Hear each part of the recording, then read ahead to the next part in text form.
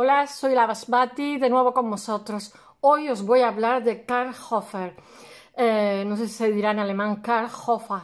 Eh, es un pintor del periodo de entreguerra que, según la biografía que haya leído, eh, unos lo encuadran como nueva objetividad otros lo encuadran como expresionista, en fin, nadie se pone de acuerdo y otros dicen que es totalmente independiente. Eh, por haceros así un perfil eh, por encima, eh, mm, viene a vivir unos 77 años, tiene una vida durísima, mm, desgraciadísima, muy difícil, eh, pero sin embargo sufre muchísimo. Eh, vamos a ver, le pilla las dos guerras mundiales. La primera le pilla con su familia en Francia en un balneario y lo, eh, lo internan en un campo de concentración porque eran alemanes y los franceses estaban luchando contra alemanes.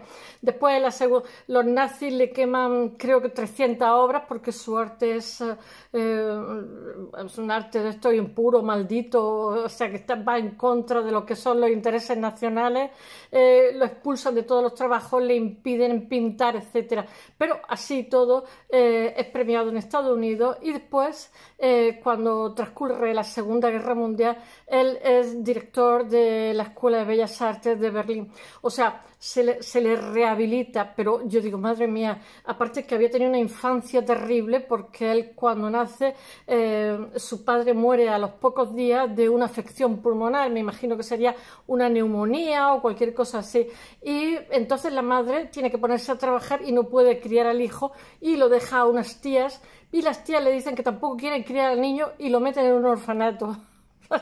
Aquí entre uno y otro, el hecho real es que él a los 14 años, él allí en el orfanato dibuja mucho y a los 14 años eh, lo que hace es mm, mm, eh, empezar a trabajar en una librería y poco a poco intentar meter cabeza en, eh, en, una escuela de arte para aprender el oficio de, pintor. Eh, su pintura va a ser una pintura muy... Después viajará muchísimo, viaja a la India, vive en Italia, vive en Viena, vive en montones de sitios, vive en Zúrich. Eh, mm, su pintura va a ser siempre una pintura muy triste porque le tocan las dos guerras mundiales, le toca el periodo de entreguerras, que es cuando él tiene la madurez artística, en fin, eh, y, como he dicho antes, eh, también la pintura que tiene en su, en su taller, en la Segunda Guerra Mundial, le destruyen el taller, y aparte de la que habían, le habían destrozado los nazis, que le habían quitado eh, de museos, de colecciones y tal, y la habían destruido, pues encima otras pinturas que tenían muy interesantes, otros trabajos que tenían interesantes, dibujos, silografía, etcétera, son destruidos en su taller por, simplemente por los bombardeos de los aliados. En fin, voy a ver si os lo cuento un poco, pero así todo es, eh, dice el refrán que lo poco espanta y lo mucho amansa. Y es cierto, eh, mm, estas personas, estos pintores que os estoy contando de Alemania, que uno los enclavan en la nueva objetividad, que es eh, una reacción que hay frente al expresionismo. El expresionismo es una reacción frente al impresionismo, es que es un periodo de entreguerra entre la República de Weimar, o sea, después de la, segunda, de la Primera Guerra Mundial, y el triunfo de los nazis en 1933. Eh, otros dicen que no, que es totalmente ajeno, porque el tipo de pintura que hace que se llama, por un lado están los veristas y otros eh, son los, ¿cómo se llama?, realismo mágico, algo así se llama. Eh, los veristas eh, son eh, los que, digamos, cogen de la realidad y la deforman para, para, digamos, destacar lo feo. Él no hace, no hace eso, lo que pasa es que su pintura es una pintura melancólica, una pintura triste, pero es que este hombre en su existencia no, no conoció nada más que adversidad, pero así todo luchó muchísimo. Me encanta cómo con 14 años está trabajando en una librería, está dibujando, está luchando por ser discípulo de los grandes y no para de trabajar durante toda su vida. Me encantó, no vivió demasiado, 78 años, eh, pero bueno, teniendo en cuenta todo lo que tuvo frente a sí, creo que vivió bastante. Bueno, eh, voy a empezar a contar un poquito su vida. Él nace el 11 de octubre de 1878 en Karlsruhe eh, y muere el 3 de abril de 1955 en Berlín. Cuando, en Berlín, cuando muere, ya se le ha rehabilitado profesionalmente. Es, en Alemania triunfa, triunfa también en el extranjero y es reconocido como un gran artista pero hasta llegar ahí le pasó de todo. Bueno, es un pintor expresionista alemán, yo no estoy de acuerdo que sea expresionista en absoluto, lo que pasa es que él eh, cronológicamente eh, se relaciona con los expresionistas. Eh, bueno, él llega a ser director de la Academia de Bellas Artes de Berlín. Ya os digo que cuando acaba la Segunda Guerra Mundial eh, lo hace un director de la Escuela de Arte de Berlín. Eh, él nunca es miembro de uno de los grupos de pintura expresionistas como el de Dubruyque, que es eh, El Puente, pero es influenciado. sí, sí, ese argumento sí que estoy de acuerdo. Es influenciado por los artistas eh, mm, expresionistas porque es el momento suyo, es su juventud, es lo que le toca totalmente vivir. Tengo un punto de luz aquí que me está reflejando y, bueno, eh, su obra mm, se considera por los nazis, como he dicho antes, arte degenerado, pero después de la Segunda Guerra Mundial realmente se, se recupera y se rehabilita y se le reconoce como uno de los más grandes eh, pintores alemanes. Hay sellos también suyos. Mirad, os voy a contar este periodo, lo voy a contar de Inglaterra, lo voy a contar de Holanda, lo voy a contar de España. De España he contado bastante más. Bueno, en 1978, eh, lo digo porque mañana termino los Pritzker y quiero que nos acerquemos a lo que ha sido el arte del siglo XX porque todo el mundo sabe mucho del Renacimiento, pero sin embargo del siglo XX de literatura y de arte no se sabe, no, no, sé por qué es la razón, cuál es la razón, porque realmente deberíamos de saber más de esto, pero sin embargo se desconoce mucho. Quizás la distancia del tiempo no lo permite. Bueno, en 1678... Eh, em, eh, os he dicho que nace en Karlsruhe y cuatro semanas después de su nacimiento eh, su padre que era músico militar que se llamaba Karl Friedrich Hofer Jofa, que dicen ellos, muere de una enfermedad pulmonar que seguramente sería una neumonía, porque con la temperatura que hace en Alemania no me extraña un pelo, aunque ellos dicen que realmente es más sano el frío que el calorazo que tenemos aquí. Bueno, su madre, que es Otil, tiene que ponerse a trabajar porque no tiene medio económico y para ganarse la vida, para sobrevivir. Y entonces eh, eh es acogido en 1879 por dos tías que las tías debían de ser una arpía que se encuentran ahí con el niño pequeño que tiene muchísimo trabajo, que, que gastar dinero y lo mandan al orfanato, eh, que él está en el orfanato entre 1884 y 1892. voy a decir una cosa, no, no nos podemos escandalizar porque aquí en España, por ejemplo, después de la guerra civil, incluso antes también, había familias que tenían muchísimos hijos y no tenían posibilidades de mantenerlos. Y entonces, ¿qué es lo que hacían? Los mandaban al seminario de pequeñitos y allí pues comían, estudiaban cosas que si se hubieran quedado en su casa habría, sido imposible las dos. Y entonces cuando llegó la democracia a España, tres cuartas partes del legislativo eran esos niños que se habían criado en los, seminarios y que habían conseguido tener carrera, promocionarse, ser catedráticos, en fin, tener profesiones. O sea, que ante la adversidad, las madres o las tías o quien sea, eh, no sabemos qué es lo que pasó ahí, pero ante la adversidad, entre morirse de hambre y tal, pues siempre hay un orfanato, etcétera. Espero que no fuera como la irlandesa esta que se han encontrado, o en Papua Nueva Guinea, que se han encontrado ahí 400 cadáveres de niños. En fin, vamos a cambiar el tema. Él, entra en el orfanato, está entre el 84 y el 92, o sea, como 8 años en el orfanato. ¿eh? Eh, y sale de allí con 14 años. Con 14 años él empieza a trabajar en una librería. Eh, mm, entonces, y, empieza a ganarse un dinerito y todo ese dinero lo emplea eh, mm, para ayudarse a, pintar y dibujar, sobre todo dibujar. Eh, y él se ayuda económicamente con el trabajo de la librería. En, um, ¿Cómo se llama? En 1896 conoce al filósofo alemán que es más joven que eh, me parece que tres años, que se llama Leopold Sieger.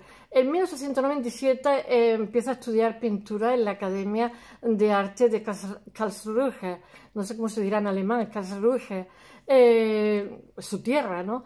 Y, bueno, reconoce, allí se dan cuenta que tienen, pronto se dan cuenta que tienen un talento y lo que hacen es darle una beca del gran duque de Baden, me suena Baden-Baden, eh, lo becan pronto. Alemania es puntera con las becas, incluso con los niños actualmente hay un 80% de becas porque se supone que los padres, eh, digamos, mm, tienen que tener los niños hasta los 18 y a partir de ahí ellos tienen que, digamos, financiarse su estudio universitario, etcétera, etcétera. me parece estupendo, pero claro, un país rico también. En 1899, pero tenían ya idea de becas, eh, en cuenta que Alemania se ha independizado, se ha, se ha convertido en un país me parece que 1970, 1870 75, ¿eh? o sea, que es que yo me, choca mucho cuando leo la Academia de Prusia y tal, digo, bueno, pero si es que a lo mejor llevaban 10 años que se habían constituido en país, o sea, se llevaban relativamente poco tiempo. En 1899 es alumno, este le va a influir muchísimo, Hans Thomas, o no sé si era Thomas, Thomas en inglés, Hans Thomas, eh, después de ser nombrado eh, pintor de la Academia de Arte de Karlsruhe. Después hay otro más que le influye, que no sé si se llama Cochlin o algo así, no me acuerdo, son nombres alemanes. En 1899 se va a París, va a estar varias veces en París. O sea, mm, con estas becas que le dan, eh, primero se pasa una temporada y después al año siguiente se pasa otra. En ten en cuenta que ahora mismo París es la capital de eh, Europa y es donde se mueve todo en Montparnasse. Hay que decir también que está Múnich, que también es en esta época muy importante, un centro de arte que polariza. Bueno, en 1900 es eh, el año en que va por segunda vez estadía, que dicen en, México, su estadía, que está una temporada en París, eh, que está financiado. Allí conoce em, a Julius uh, Meyer Graefe. Eh, bueno, en 1901 es discípulo de Thomas, como he dicho, en 1902 es discípulo eh, de un pintor que se llama Leopold von Katzroth y en la Academia Estatal de Bellas Artes de Stuttgart. Él, ya sabéis que en arte nos movemos, eh, como diría yo, para no esclerotizar, vamos cambiando, cuando estás aprendiendo es muy bueno ir cambiando de profesores porque si no eh, llega un momento que esclerotiza, o sea, porque te mimetizas con esa persona que te está enseñando y al final eh, es, es, como insano, es insano. Incluso cuando hacemos grupos de trabajo intentamos eh, que, no, mm, eh, que ese grupo no dure demasiado tiempo, porque si no acabamos vibrando en la, en la, misma dirección. Y entonces él se está formando y está cambiando de, de profesores eh, cada, cada poco tiempo. Bueno, durante este tiempo empieza su amistad con el escultor Hermann Haller y después en 1903 estoy dando un poco su biografía para que os hagáis, os hagáis una idea del zigzagueo que lleva eh, entre unas cosas y otras y lo valioso que es, cómo ha sabido recuperarse al orfanato, cómo ha sabido eh, aprender un oficio, tener una profesión, eh, promocionarse, pero sí todo, yo creo que los diez primeros años de una vida son como el mapa del adulto, ¿no? ¿no? No es que lo crea yo, el psicoanálisis también lo cree. Entonces yo pienso que eso, ese orfanato marcó un poquito lo que sería eh, su pintura del futuro, que es una pintura tristísima, todos sus cuadros son tristísimos. Y los lee y dicen, bueno, son las guerras mundiales, el periodo de entreguerra, la República de Weimar, mm, de Weimar, que dicen ellos, la República de Weimar. Eh, pero no, yo creo que no, porque he estado viendo otros pintores que tuvieron, digamos, infancias más felices y tal, y no, este es es que es terrible, es que no tiene un cuadro que no sea terrible de triste. Bueno, en 1903 se casa en Viena con Matilde Schemberger, que es judía pero eh, no ha tenido formación judía y entonces ella lo que se hace es protestante, pertenece a una familia judía. Después a él los nazis dicen que es judío, ay que tengo que hablar allí, a él los nazis dicen una de las cosas que le reprochan, él no sé si es socialista, es comunista y entonces está publicando cosas contra los nazis porque está horrorizado de lo que se le viene encima, como todos los artistas, porque no hay libertad, eh, como pasó con Stalin en, la Unión Soviética, en el momento que llega una dictadura ya no hay libertad, con lo cual ya no puedes escribir lo que quieras, pintar lo que te dé la gana. En fin, bueno, seguimos con el matrimonio, que si no voy a hacer aquí una disquisición. Él se casa con ella, me parece que tiene tres hijos, se les muere uno. Bueno, eh, ella se hace protestante como él. Tienen tres hijos, que es eh, Carl Johannes A. Em, Arnold, después eh, que, le llaman Carlino, me suena con los perritos, los perritos carlinos, que nace en 1904. Después tiene otro que se llama Titus Wolfgang, eh, que se nace en 1905 y muere en 1906. Y después, es que no, había mucha mortandad infantil, había también muchísima natalidad, todo hay que decirlo. Y después hay otro que es eh, Hans Rudi, que nace en 1911. En 1902 firma un contrato, eso me ha hecho muchísima gracia, con un promotor suizo o algo así, durante cinco años. Después este empresario lo echa, pero bueno, durante cinco años eh, se llama Reinhard, Theodor Reinhardt, y um, en el que él se, se, acuerda un, uh, ¿cómo se dice?, un apoyo regular. Él, a cambio del dinero que le va a dar Reinhardt, eh, es como un patrocinador, un sponsor que llaman los ingleses. Eh, las primeras tres o cuatro pinturas que tiene se las va a enviar a él. Y después, mm, primero eran tres y después con el tiempo acaban siendo cuatro. El otro le pide que por favor sea una más. Y, bueno, el contrato dura cinco años y son cinco años que le permite un sueldo mensual para él y su familia, lo que le permite trabajar sin tener que hacer otras cosas. Eh, hasta 1913. Bueno, la beca de Reinhardt permite a Carl y Matilde ah, mudarse mm, a Roma entre 1908 y 1913, porque es, eh, bueno, eso se sigue haciendo, las galerías lo hacen también. Eh, vive en París y en 1913 se muda a Berlín. Durante, algunas veces tengo que mirar las fechas porque es que aquí hay fechas para, ir a, la luna y volver. Eh, durante su residencia, residencia en París está muy influenciado por Cézanne y por, el, y por Pablo Picasso. Bueno, es que Pablo Picasso era no sé, es que polarizaba todo. Eh, en este primer periodo, mirad, siempre os cuento de los artistas que eh, según en la época que estén viviendo, en el lugar, eh, si están viviendo una pasión, si son padres de familia y tal, su pintura varía muchísimo. O sea, simplemente cambiar de ciudad, eh, cambiar de pasiones, cambiar, me imagino que a los músicos les pasará lo mismo y al resto del mundo. Pero es que aquí se lee, se leen todo lo que hacen, lo que pintan, etcétera. Porque este cuando llegan las guerras mundiales hace una pintura triste. Bueno, a partir de 1905 hace muchísimas exposiciones. Su, sus pinturas se se, muestran regularmente. En 1908 entra, eh, está representando en la exposición La secesión de Berlín, eh, mm, que está hecha por Max Lieberman. Eh, he, cogido, esta, la fuente de esto es el MoMA. En 1913, pues no, por nada, sino porque me parecía la más sensata, porque he leído otras por ahí muy peregrinas. Siempre suelo contrastar la información que os voy a contar. En 1913 en Berlín es miembro de la nueva secesión. Eh, tiene, eh, se hace mm, de un grupo, aunque no es expresionista, está en un grupo de Vasily Kandinsky, que no me acuerdo cómo se llama, y llega a exponer con ellos también. O sea, evidentemente por la edad que tiene y la sensibilidad que tiene y la época que le toca vivir, eh, mm, tiene, está cerca de ellos, le influencia. Bueno, em, el em, tiene su primera exposición que, bueno, en 1914 junto a Max Lieberman y los pintores expresionistas, pues que es su primera exposición así. Y después está también con Erich Henkel, es Lubin Kirchner, Matt Bernstein, Carl Smith y Raluf. Son, os he hablado de algunos de ellos. Entre 1910 y 1911 viaja a la India. Eso me hace mucha gracia porque viaja dos veces. Tener en cuenta que no había aviones, o sea, me imagino que cogería un barco en algún sitio. Está, en dos ocasiones está en la India y le influye muchísimo en su pintura. Tiene fascinación por Oriente. Eh, tener en cuenta que en el siglo, a finales del siglo XIX ha sido el descubrimiento de los Upanishads. Quien no lo sepa, los Upanishads son textos védicos que eh, se descubren en la India y lo que se descubre es que estos textos tienen etimologías que tienen que ver con nuestra lengua a miles y miles de kilómetros. Entonces lo que se encuentra es el vínculo que tenemos cultural y lo que se supone que han sido las invasiones indoeuropeas y se hace, se, nace la filología, la literatura comparada, en fin, eh, lingüística, toda una serie de cosas. todo eso ya había nacido antes de alguna forma la filología con en Viva, etcétera, etcétera. Pero en el siglo XIX eh, van a tener lo que es la antigua Prusia y tal, ellos van a hacer posible que toda esta disciplina se desarrolle. Nosotros va a influenciar muchísimo en el pensamiento de, la India.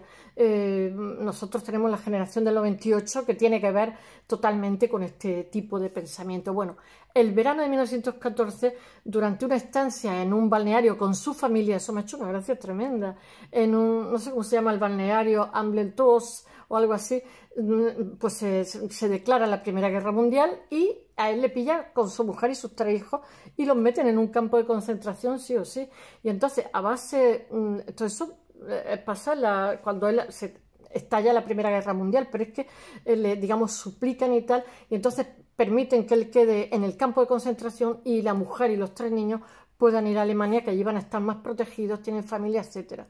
Eso es que me parece tremendo, pero después de ver que los japoneses y Samonoguchi, que lo metieron también en un campo de concentración con las guerras mundiales, yo digo, madre mía, madre mía, qué disparate, porque era simplemente porque era japonés en Estados Unidos. Eh, y bueno, mm, que son internados en un campo de concentración y, que a ella se le permite salir. En 1917, Hofer es despedido por Reinhardt como he dicho antes, y se traslada a Suiza primero a Schulzwaden o algo así, y después a Zurich, Zurich, que dicen ellos.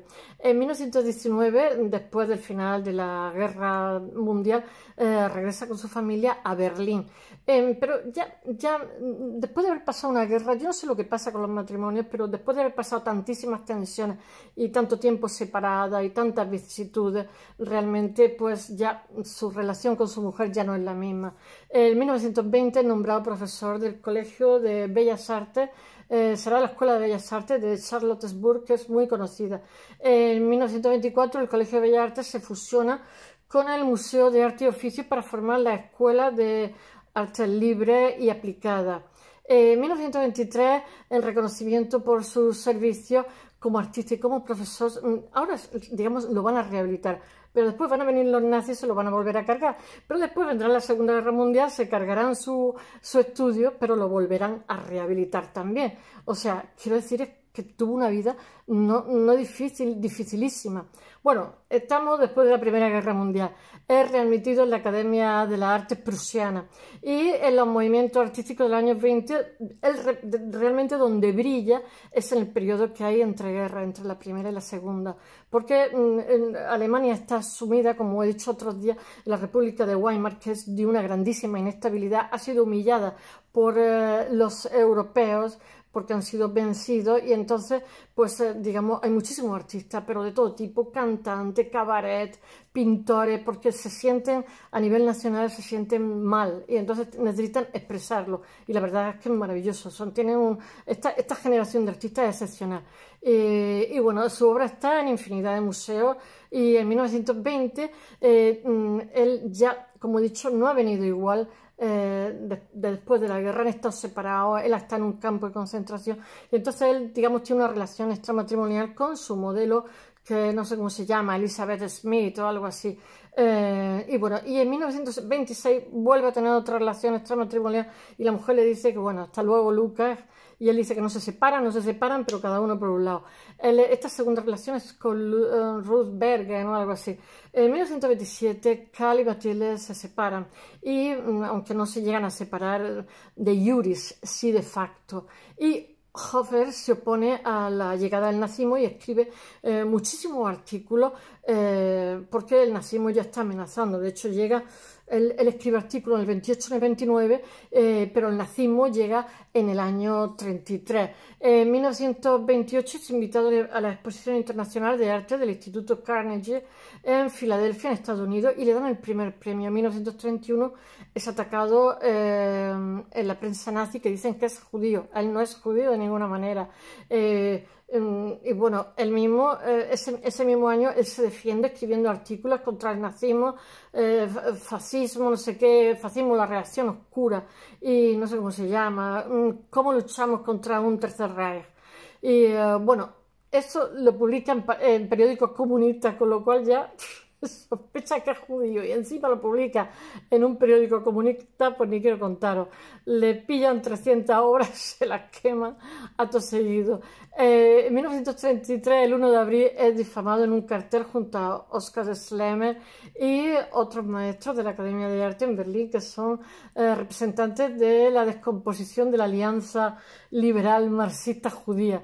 Mirad, es que he tenido que ver la fecha porque no, no me acordaba. Y en el 34, en el verano, tras finalizar el curso, lo echan a la calle. Un hombre que tiene tres hijos en el mundo, pues a la calle como profesor porque es eh, porque el arte está diciendo que son unos degenerados, o sea, el poder está diciendo que está haciendo un arte degenerado. Y bueno, al comienzo de la Alemania nazi, Hofer todavía trata de conciliar su arte con la ideología eh, del nuevo régimen porque dice que lo que él hace es un arte alemán.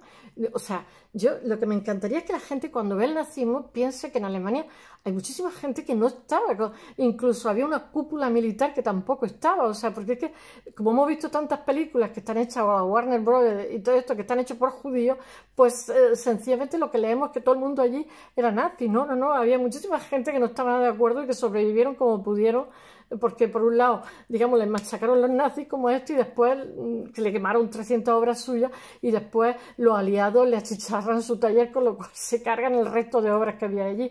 Bueno, a pesar de su rechazo al nacionalsocialismo, eh, bueno, que él está convencido que su arte es alemán y bueno, y una vez finalizada la Segunda Guerra Mundial, Jove se traslada a Berlín, donde en 1945 se le hace, se le da la dirección de la Escuela de Bellas Artes eh, y que, él, compagina totalmente con, eh, con, la pintura, con las actividades en la dirección de la escuela con su producción pictórica, en la que refleja su experiencia en la guerra, que son todas tristísimas.